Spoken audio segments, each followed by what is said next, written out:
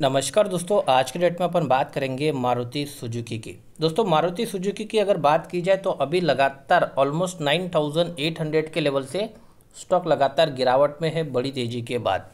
तो अभी कहाँ तक की गिरावट आ सकती है, किस लेवल से बाउंस बैक होने की संभावना बनेगी, उसको आज की डेट में अपन डिस्कस करने की कोशिश करेंगे।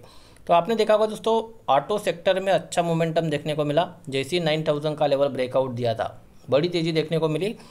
और इस लेवल पर स्टॉक ने जब अप ट्रेंड में था तो इस लेवल पर लगातार रिजेक्शन फेस किया था ऑलमोस्ट 9400 के आसपास।